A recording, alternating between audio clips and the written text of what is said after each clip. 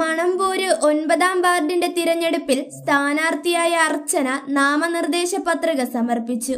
ഇന്ന് രാവിലെ അരുവിക്കര പഞ്ചായത്ത് സെക്രട്ടറിക്ക് മുൻപാകെയാണ് നാമനിർദ്ദേശ പത്രിക നൽകിയത്. ബി ജെ പിയുടെ വലിയ പിന്തുണയോടെയാണ് നാമനിർദ്ദേശ പത്രിക സമർപ്പിച്ചതെന്ന് സ്ഥാനാർത്ഥി പറഞ്ഞു. ബി ജെ പി സംസ്ഥാന സെക്രട്ടറി സുരേഷ് സംസ്ഥാന സെക്രട്ടറി ശിവൻകുട്ടി ജില്ലാ സെക്രട്ടറി മുളയറ രതീഷ് സംസ്ഥാന കൗൺസിൽ അംഗം കാട്ടാക്കട സന്തോഷ് മണ്ഡലം president Vellanad Anil area president Ajithan എന്നിവർ പങ്കെടുത്തു.